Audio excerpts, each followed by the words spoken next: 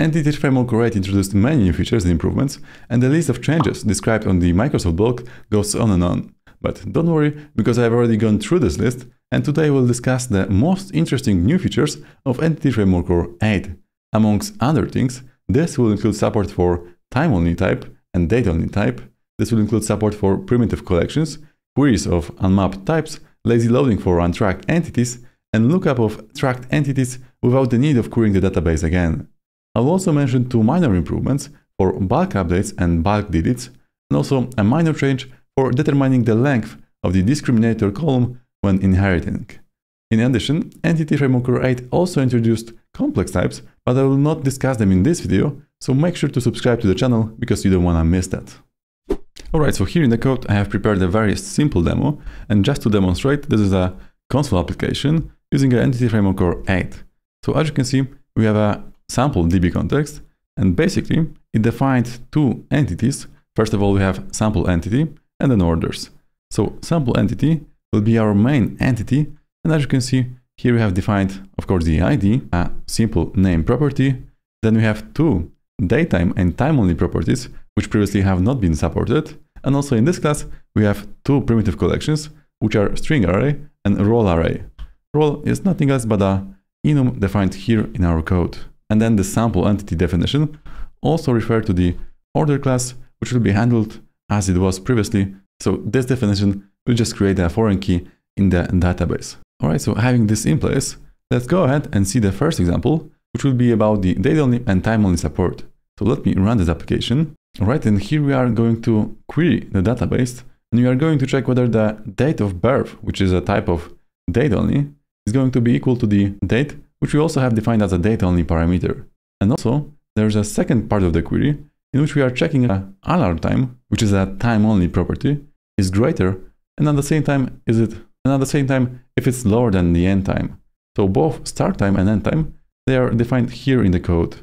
So if I execute this sample query, as you can see here in the database side, we have uh, two parameters used for the date of birth, and the type parameter is actually represented by the date type in the SQL database. And also, whenever we are querying the time, here you can see that the start type, for example, is represented as a time type on the database side. This was not previously possible. We had to use the datetime property in C Sharp, and on the database, it was datetime2 column type. But now using Entity Framework 8, it is supported, and you can freely use the date-only and time-only types. Alright, so moving on, uh, the next example is going to be about primitive collections. So as we remember, our sample entity has two primitive collections. First one was beers and the second one was roles. So let's imagine that we wanted to query the sample entities so that we want to get only those for which the beer collection contains, let's say, Heineken.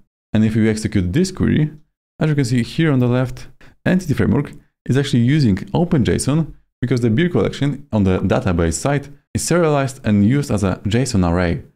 So using OpenJSON, you can query the beers so that the value is going to match Heineken in this simple example. In the next example, uh, we have a collection of lager beers, and let's say that we want to get only those entities that contain at least one of the defined lager beers. In this scenario, the query is pretty simple. We are going to just use the where clause, and we are going to check whether the lager beers, which are defined as a string array collection, contains any beer from the sample entity. And once we execute this query, again here the lager beers parameter is used as a very simple JSON array. And again, Entity Framework Core will be able to use the OpenJSON syntax to query the beers so that we will get only those entities that at least contains one of the beers from within the collection that we passed as a parameter. Moving on to the next example, now we have defined a very simple array of two entities and we are actually able to use it against the equals operator. So this will match whether the beers property of any record in the database is equal to exactly Guinness and Budweiser. And besides that, we are going to just select the name of the entity and the beers collection using the select statement. So if we execute this one, here on the left, you can see that we have a filter on the beers where the beers is just a collection of two values as a JSON array. Besides that, the select statement is going to just get their name and also the beers collection. And this actually results in one entity that is matching the predicate. So the collection of beers is just Guinness and Budweiser. Moving next, here I have defined uh, two roles as an array, so admin and a user. And we can also filter the sample entities to check whether there's any of them that contains at least one of the two defined. So again, we could use the roles as a parameter and then check whether any entity in its roles column contains any of the defined roles here as an array. So if I executed this query, again here on the left, as you can see, even though the roles collection is an array of two values, 0 and 1, represented by the enum in our case, again it is using an OpenJSON format to actually filter the values and match them against our roles property defined in the sample entity. So in this way, Entity Framework Array will allow us to actually use primitive collections and underneath it will use JSON format to store the values on the database side and also to query those values it will use OpenJSON syntax and on our side we'll just use standard plain LINQ. Moving on the next new feature is a SQL query for unmapped types. So previously, whenever we had a query that didn't match any of our DB sets defined in the DB context, we had to actually create a specific DB set for this type of uh, result, and then we have to configure this DB set so that it will not be tracked by our migration schema. And now, let's say that we have uh, actually two simple records that we wanted to use as a return types. So let's imagine that we have a beer stats record that is defined by a, a string array of beers. It has a count as an int and also a year as an int. And then the second type, a custom type that is going to be returned from within the SQL queries is the order DTO defined by a description as a string and date only as a date of birth property. So having those two records defined, now we can use them as the return type using the new SQL query syntax into which we are going to pass first of all the type of the return value and then here as a parameter we have to pass in the formattable string because this will actually allow us to interpolate any string in order to actually pass in any type of SQL parameters. So as you can see, here I have defined a simple query selecting a beers and the year of the date of birth column and also a count and everything is first of all filtered by the alarm time and the alarm time is going to be an interpolated parameter on the SQL side. So having this query defined, if I execute this simple SQL query method and then to list async, well, if we go to the console, here on the very bottom you can see that first of all, the alarm time has been replaced by a parameter, so it's nothing else but a time specified by ourselves in C Sharp code. And then of course we have the rest of our query that we have defined as a formattable string. And as you can see, as a result, we have actually two entities of the type beerstats. And here the only trick is that you have to actually be very careful whenever defining the query because the name of the columns that you are returning from the query have to match the properties that have been defined in our simple DTO model. So beers matches the collection of beers, year also matches, and the count as well. So in this way, I was able to actually map the unmap type to the simple beerstats DTO. In the next example, I have a simple select statement, but here I'm also treating this as a base query, and then I'm using the where clause to actually filter the date of barrier to be less than 1990. So in this scenario, if I execute this query, here on the left, you can see that now we have a, actually a subquery, first of all using our custom SQL query, and then on top of that, we have the rest. So it's nothing else but the where statement, which checks whether the date of birth year is going to be lesser than 1919. So in this way, we are going to be able to treat this sample queries as a base of our LINQ IQueryable definition. But also what is important that if we wanted to actually use a shadow property, so let's say that even though I know that the value property exists on one of the tables on the database side, I will not be able to use them right now. It is still not supported. The next example is going to show us how can we use lazy loading for untracked changes. So let's imagine that we are going to load a collection of sample entities. And let's say that for one of them, we would actually need to load the order collections.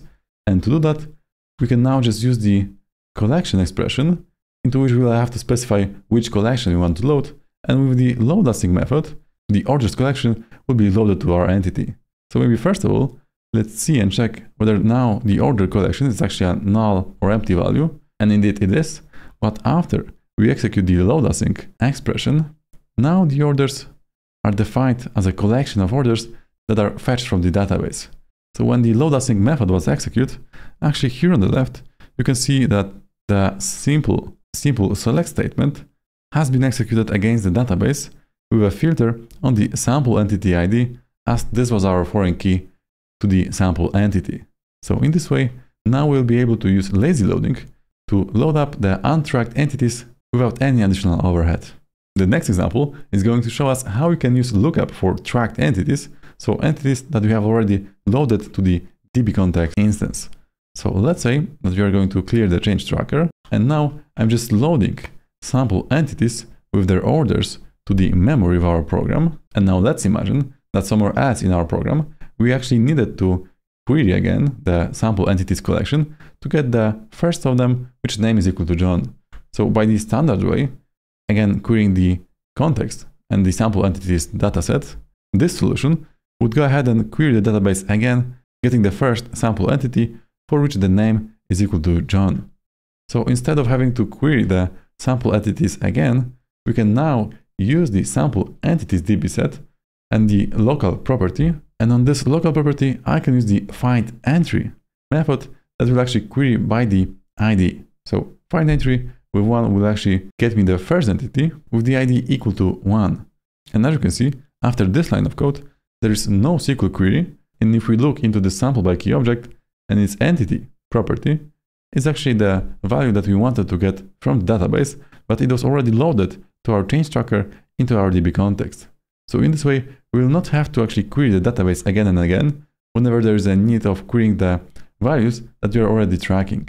In the next example, I'm also using the find entry method, but this time I'm passing two parameters. The first parameter is defining on which column or property we are going to filter the values, and the second parameter is defining the value of the property.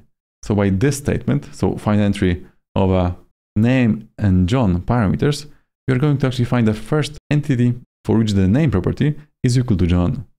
So again, there is no query on the database side, and our sample entity can be used in any way in our program. And the last example is actually going to use a LINQ query. And now, instead of using the find entry on the local entity, I'm just using the first or default method from LINQ and passing the lambda for which we are going to check the name property that is equal to John. So again, in this way, I was able to actually get the entity without the need of querying the database again. There are also two small improvements that I wanted to discuss, but maybe let's go ahead and switch to the presentation. And the first one that we are going to discuss are bulk operation improvements. So let's imagine that we have a customer entity and the customer entity has defined a own type of a customer info with a tag property. So previously, whenever we had a, this kind of a structure, and you wanted to actually update the customer info.tag property using the bulk update feature from Entity Framework Core 7, this would actually throw an error. But right now, you can use this approach and the tag property of the customer info on type will be properly updated. Alright, and the last improvement is going to be about the TPH, so table per hierarchy, discriminator length. So let's say that we have a base class of a document, which is an abstract class, and it defines some properties.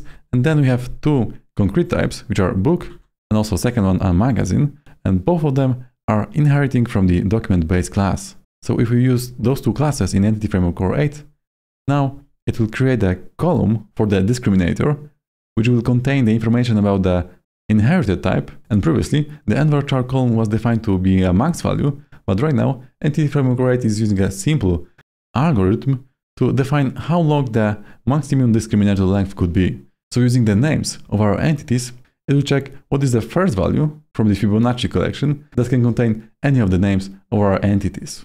Those were the few features that I wanted to discuss. Let me know in the comment section which one is your favorite one.